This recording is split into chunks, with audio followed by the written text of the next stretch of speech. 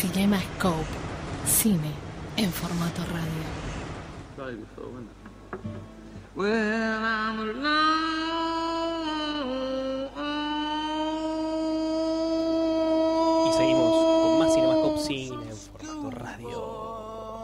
Qué lindo tema. Hermoso Cocksucker Blues, una canción que tiene mucho que ver con este bloque. Abro un paréntesis y digo que ya está Karina Bismara en nuestros estudios para hacerse presente y a darnos un acústico bastante bonito, anticipando lo que sería su show en Niceto Club, pero cerrando este paréntesis, te digo que llegó el momento de eh, el, el cine, la censura de un señor que justamente no tiene nada de censurado en su vida, un tipo sin tapujos, una persona, un realizador, por supuesto, eh, una sapiencia en el mundo del séptimo arte, un amigo, por supuesto, porque yo no estaría diciendo todas estas cosas, yo a mis amigos le digo nada más esto, pero sí eh, nuestro columnista debut, de alguna forma, nuestro eh, inicio en este cine censura, nos referimos a Gustavo Winkler. Muy buenas tardes, noches, Gustavo Winkler. Hola queridos amigos, buenas noches. Y bueno, como dije, acá el amigo Cristian Baral y acá junto con el amigo bien, Julián, tranca. Soy, digamos, puro amigos. Eh, digamos, somos un momento de amistad, pero una amistad transgresora, polémica.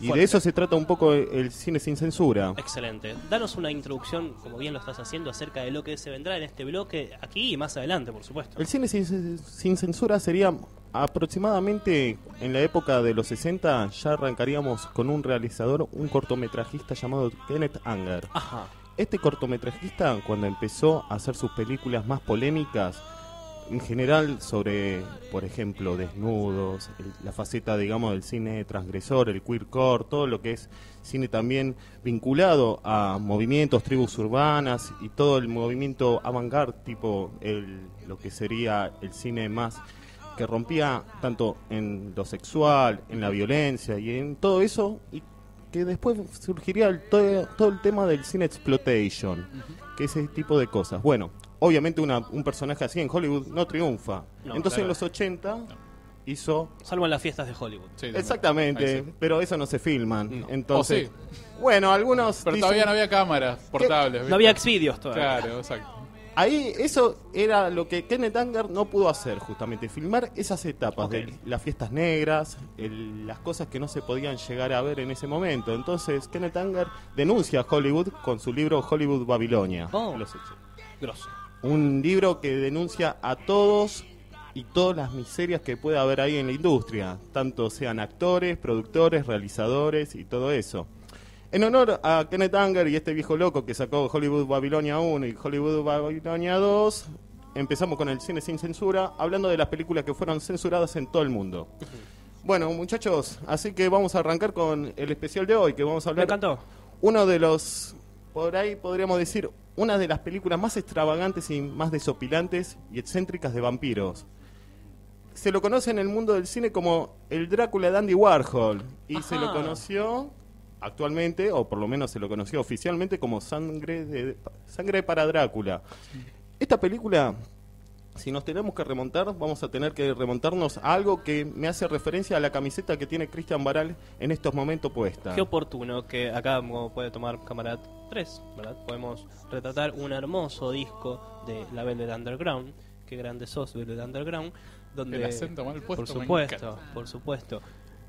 Bueno, Adelante. Velvet Underground ¿Me puedo and tapar? Nico Gracias. fue justamente por ahí el- esa unión cinematográfica y musical que eh, realizó Andy Warhol con Lou Reed en ese momento. Y, pero hay una persona que unió a esas dos personas, a esos dos personajes, podríamos decirlo, que se llamó el señor Paul Morrissey. Ajá. Paul Morrissey, que aunque no lo suena, digamos, a músico el apellido, fue un cineasta que empezó haciendo cortometrajes en Nueva York y empezó haciendo unos cortometrajes que tenía que estar vinculados con un momento de Nueva York de experimentación, de filmar cosas raras. ¿Y quién filmaba cosas raras y hacía experimentación en Nueva York también? El señor Andy Warhol. Hizo una película llamada Sleep, que era un, hombre durmiendo. Hizo Empire, que era el amanecer del Empire State. Por lo menos con una duración de 8 horas, lo cual eran películas totalmente aburridas, pero se estaba enfocado dentro del género, o por lo menos dentro del formato del cine arte.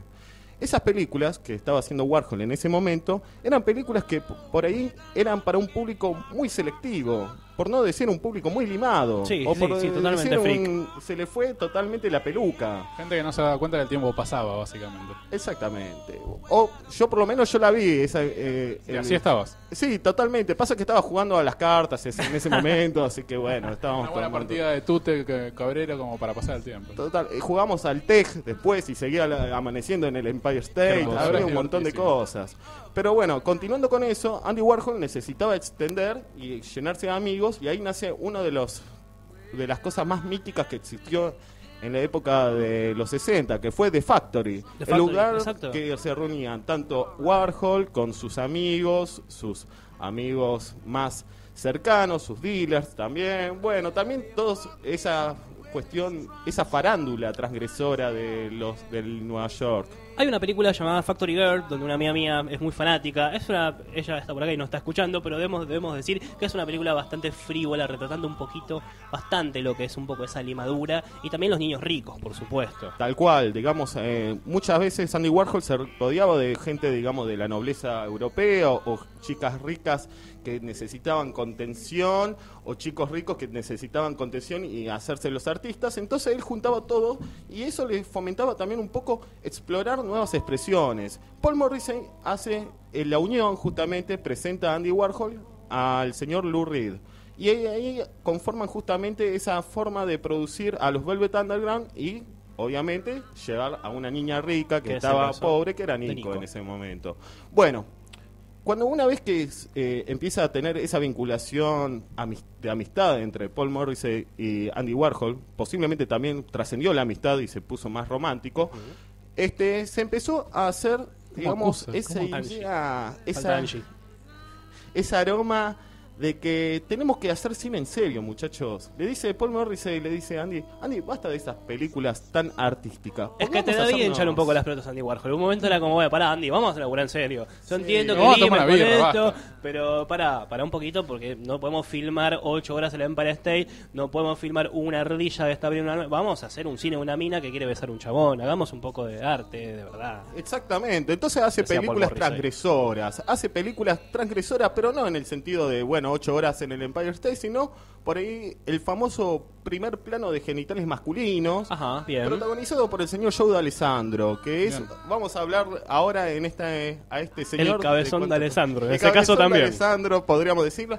En ¿Saben dónde también. hay una foto del el señor D'Alessandro que se ve muy bien? En el álbum Sticky Fingers de los Rolling Los Stones, claro, totalmente. Ahí van a ver un primer plano del señor Es D'Alessandro en su mejor perfil, podríamos decir.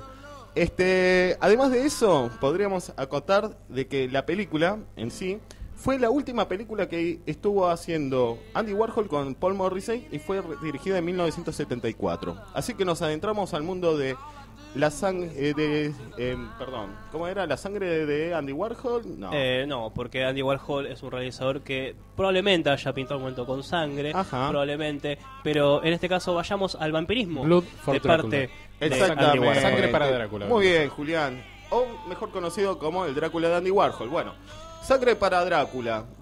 Esta película nos va a unir eh, de una forma de constelación a varias personas famosísimas.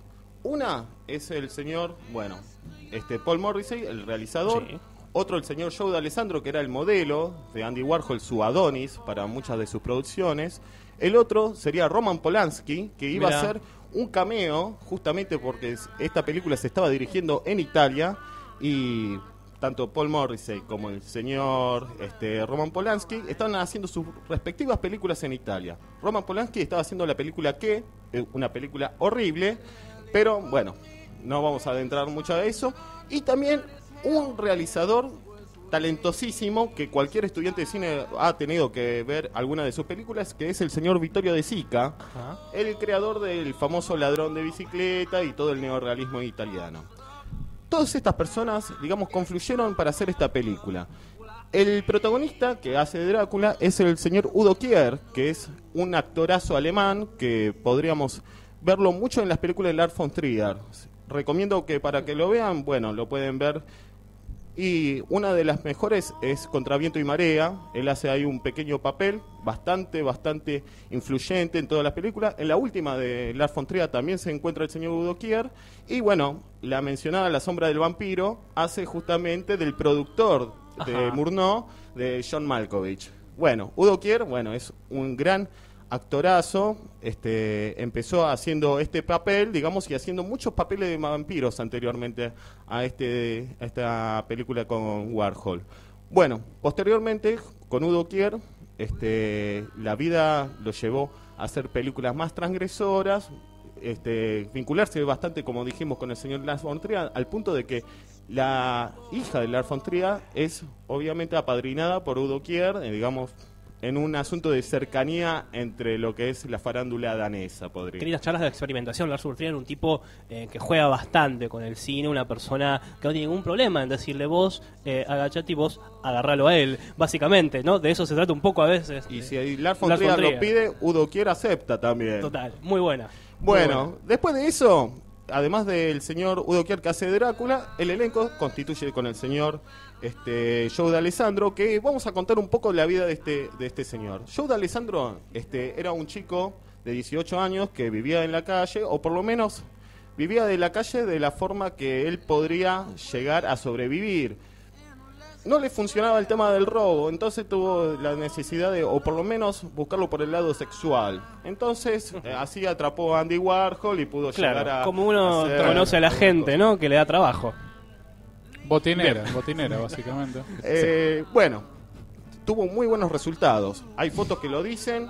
Ah, Fue así como Andy Warhol Sí. llegó a tener muy buenas producciones fotográficas. Hay pruebas de sangre que no dicen lo mismo, pero Eh, bueno, puede ser. la vida y la salud. Pero ¿no? el señor de Alessandro, bueno, contribuyó justamente al cine después de esta película con Andy Warhol y de todas sus producciones. Recordemos que eh, Alessandro, si lo quieren llegar a ver actualmente, digamos, va a ser un señor casado con una mujer, digamos, y tiene sus hijos, y... pero también hizo sus películas famosísimas después de Warhol, por ejemplo, Orquídeas Salvajes 2, o este, Cry Baby, o este, The Limey, que es una con Terence Stamp, que es por ahí podríamos decir la más seria de las que nombré de estas tres. Bueno, D'Alessandro este, obvia, es, hizo muchas películas pornográficas también, después de Warhol, hay que decirlo, no lo vamos a negar. Pero también hizo algunas películas este, europeas, sobre todo después eh, de que se hizo esta película de, de Drácula, que se había realizado en Italia. Él no volvió a Nueva York, se quedó ahí y empezó a hacer películas con Jay Birkin, que si recuerdan es la musa inspiradora, o sea, la mujer, mejor dicho, de Sergei Gainsbourg. Y ahí hizo varias películas con, con esta chica. Obviamente Sergei Gainsbourg consintió este tipo de, de Creemos que en el mundo del arte hay ciertas cosas que se permiten y se consensuan, por supuesto, Esto- detrás. Y salió bien. Dicen, yo puedo decir que por lo menos las películas que salió europeas eran dentro de todo rentables. Y dentro de todo se ve a, a D'Alessandro actuar, lo cual está bárbaro. Bueno, vamos a continuar con el otro, Vittorio de Sica, que hace justamente del papel. Ya Joe de Alessandro hacía de un jardinero, del jardinero de la mansión donde iba a ir el señor Drácula, ahí Udo Kier, y el dueño de, esa mansión es Vittorio de Sica, que hace un cameo que es el Marqués di Fiori, que tiene que estar ahí, este, de ser de anfitrión de Drácula, que se quiere casar con una de sus hijas. Drácula tiene, eh, se tiene que casar con una de sus hijas porque se necesita alimentar. Fue a una nación católica como Italia, donde se conoce que son todas vírgenes. Claro. Entonces, él se tiene que alimentar con sangre virgen. Y si no se alimenta con sangre virgen, puede llegar a morir. No Tremendo. puede ser más. Muy, muy específico, un no señor muy... ser- no puede mantener la inmortalidad. Entonces, ¿qué No. hace? Voy a quedar muy mal parado, no te pongas esos auriculares porque... No, sí, escucha, escucha, te vas a divertir. sí. Ahí, en ese momento, entonces le dice, el señor tiene cuatro hijas, el marqués tiene cuatro hijas, y le presenta, bueno, eh, mi primera hija es muy mayor, no la puedo presentar, disculpe. Claro. Pero kilometraje. No, no, no, no tenía kilometraje. De hecho, dijo el marqués. Victoria de Sica dice de que no tiene ninguna, ninguna Ah. tiene kilometraje. El tema es que todo es- eh, el señor Joe de Alessandro se ocupa personalmente de marcar kilometraje con cada una de las hijas, Ah, evitando de que bueno. se conviertan en vampiras Muy por bueno. el señor Drácula. Vení que te salvo la vida. Sí. Podría ser una película más que picaresca y sin embargo no. Exactamente, y de eso todo gira justamente Muy de bueno. cómo el señor Drácula no puede llegar a ser eh, vampirizar a toda esta familia. Ahora se entiende por qué la querían censurar, ¿no? Sí, un poco, justamente. un poco se comprende, Sí, ¿no? sí, sí, sí. Y bueno, la Bueno, película fue Aries o Argentina todo. Film han dado pie a muchas historias bastante parecidas, pero bueno, en aquel entonces se ve que había gente con mejor gusto. Bueno, para finalizar podríamos decir de que Vittorio de Sica lamentablemente murió ese año y fue esa su última película, por lo menos que se lo ve, digamos, como actor. Y bueno, yo creo que fue... eh, habrá soñado Victorio de Sica despedirse del mundo cinematográfico de esa forma. Este, con respecto a Andy Warhol y Paul Morrissey, bueno, se separaron después de esa película, este, no se vieron nunca más. Paul Morrissey sigue siendo un gran este, cineasta, uno de los más cineastas, eh, de los cineastas independientes que más culto se le rinde. Andy Warhol, bueno, ya todos sabemos, bueno, la época de la factoría se murió cuando ya tuvo ese atentado a su vida por parte de Valery Solanas. Y bueno, ese sería todo el final de la historia de el Drácula de Andy Warhol. Excelente, Gustavo Winkler ha estado con el cine sin censura en este caso, nos ha traído eh, quizás eh, algo bastante fuerte para lo que veníamos manejando, veníamos con frivolidades como Fright Night, nos veníamos riendo un poco del vampirismo y de repente trajimos una historia bastante interesante. Señores, Gustavo, te invitamos a que te quedes, por supuesto, eh, y a que vengas las veces que quieras, porque esta columna nos encantó, es instructiva, como decíamos, nos gusta estar rodeados de profesionales del cine y en este caso, eh, a modo de curso, de, de alguna forma, con respecto al cine sin censura, bueno, va a ser tuyo, sos el maestro de cátedra para aquí en Cinemascope escuchar atentamente cada vez que estés presente en este bloque. Muchísimas gracias y siempre que haya una cerveza en esta mesa, estaré.